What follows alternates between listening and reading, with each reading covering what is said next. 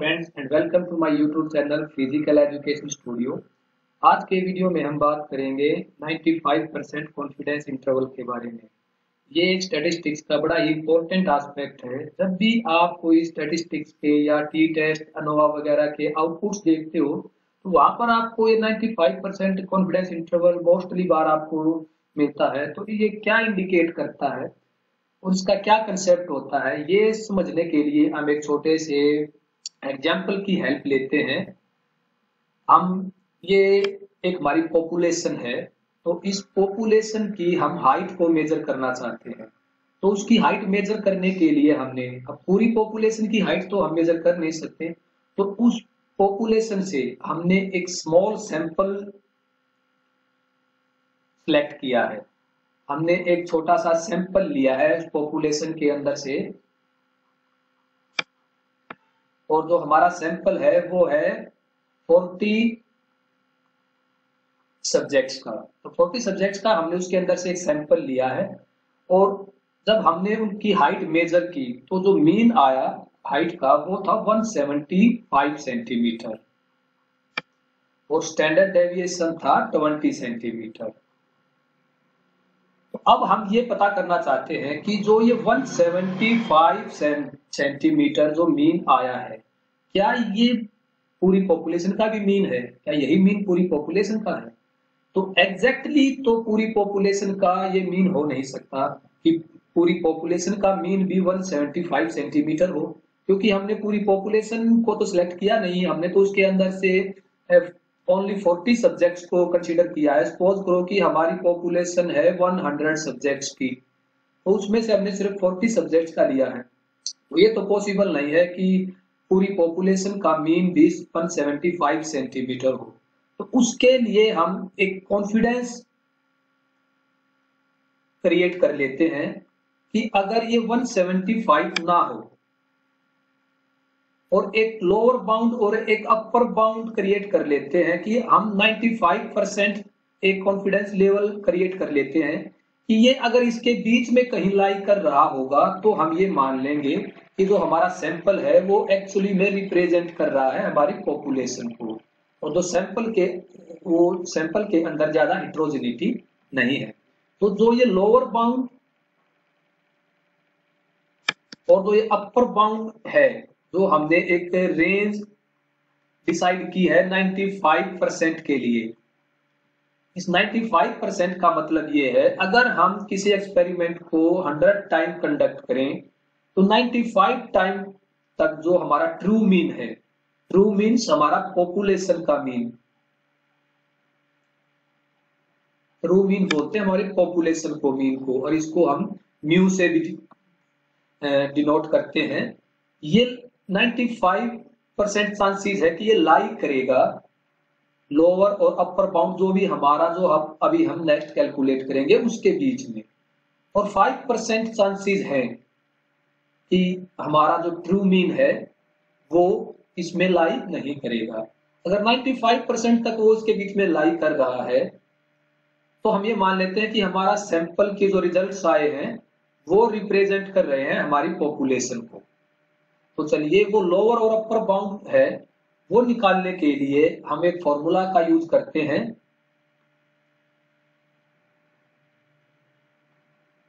Ninety five percent confidence interval को calculate करने के लिए जो फॉर्मूला है हमारा, वो है X bar plus minus Z into standard deviation divide by square root of total N अब जो हमने फॉर्मूला यूज़ किया है, उसके अंदर देखिए, जो हमारा सैंपल था, उस सैंपल में मोस्टली हमारी जो वो वैल्यूज़ है, वो है हमारे पास। हमारे पास टोटल एन भी है मीन भी है और स्टैंडर्ड डेविएशन भी है। हमारे पास क्या है कि जेड की वैल्यू नहीं है। तो जेड की वैल्यू देखने के लिए आपको जो जेड की टेबल होती है, या फिर नॉर्मल डिस्ट्रीब्यूशन की टेबल होती है वहाँ से 95 परसेंट की वैल्यू आपको देखनी होगी। या फिर मैं आपको इजिली एक ग्राफ के द्वारा नॉर्मल डिस्ट्रीब्यूशन कर्व को ड्रॉ करके समझाने की कोशिश करता हूँ कि तो नॉर्मली डिस्ट्रीब्यूटेड कर्व होती है। इट मींस कि आपका डेटा नॉर्मली डिस्ट्रीब्यूटेड हो और जो आपकी कर्व है वो वेल सेव्ड होनी चाहिए। तो उसके बीच में तो मीन लाई करता है ज़ीरो पर। तो हमारा मीन यहाँ पर बीच में लाई करता है। और फ़र्स्ट सिग्मा प्लस माइनस फिर सेकंड सिग्मा प्लस माइनस और फिर थर्ड सिग्मा प्लस माइनस एक राइट right साइड में आपकी प्लस की वैल्यूज़ होती हैं और लेफ़्ट साइड में माइनस की वैल्यूज़ होती हैं। तो जब आप ये बेल सेप्ड और आपने देखी होगी तो जो सेकंड सिग्मा होता है हमारा सेकंड सिग्मा के अंदर आपकी 95 परसेंट जो डेटा है, वो प्लस माइनस सेकंड सिग्मा तक लाई करता है आपकी नॉर्मल डिस्ट्रीब्यूशन में। तो जो ये प्लस माइनस सेकंड सिग्मा है, इसकी ओरिजिनल वैल्यू होती है 1.96 इसको अप्रोक्सीमेटली हम टू लिखते हैं। तो आपकी जो z की वैल्यू है, वो है 1.96 हम यहाँ पर लिख देते हैं z की वैल्यू भी। 1.96 तो अब चलिए सिंपली हम वो लोअर बाउंड और अपर बाउंड जो रेंज है वो निकालने के लिए इस फॉर्मूले का यूज़ करते हैं। अब देखिए, हमारा जो मीन है वो है seven one seventy five centimetre plus minus it means हमने इसे आगे का इक्वेशन सॉल्व करनी है। जेड है 1.96 इनटू स्टैंडर्ड डेविएशन है 20 सेंटीमीटर और टोटल n है आपका 40 और जब आप इस इक्वेशन को सॉल्व करोगे तो ये आएगा आपकी वैल्यू मैं डायरेक्टली वैल्यू लिख देता हूँ, क्योंकि मैंने पहले से इसको कैलकुलेट करके रखा है। वैल्यू लिख देता हूँ मैं, इसकी वैल्यू आएगी आपकी सिक्स पॉइंट टू ज़ीरो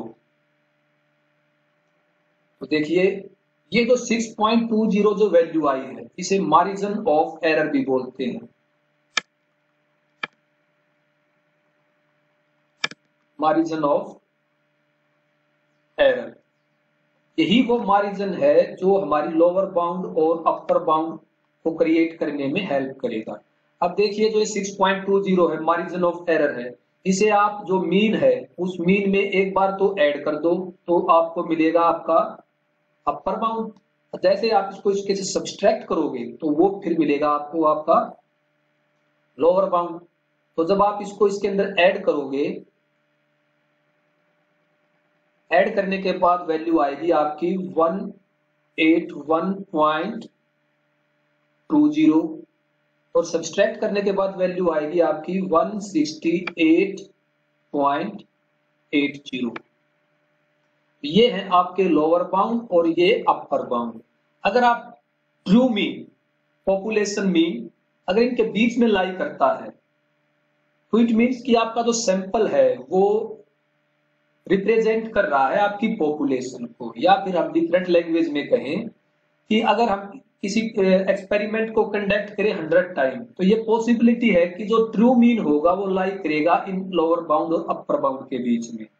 और फाइव परसेंट चांसेस है कि वो इनके बीच में लाई नहीं करेगा। तो हम 95 परसेंट कॉन्फिडेंस इसीलिए लेके चलते हैं, अगर हम 95 परसेंट कॉन्फिडेंस के बीच में ये वैल्यू नहीं आती। तब जाकर जो हमारी हाइपोथेसिस वगैरह जो है, वो रिजेक्ट हो जाती है। तो ये हमारा एक्सेप्टेंस रीजन है 95 परसेंट कि 95 परसेंट टाइम्स ये होगा कि जो मीन है ट्रू मीन है, वो लाई करेगा आपके इन लोअर और अपर बाउंड के बीच में। तो देखिए, आज के वीडियो में हमने सीखा 95 परसेंट कॉन्फिडेंस इंटरवल जो हमें लोअर और अपर बाउंड की जो रेंज है वो निकालने में हेल्प करता है। आज के वीडियो में इतना ही। Thank you thanks for watching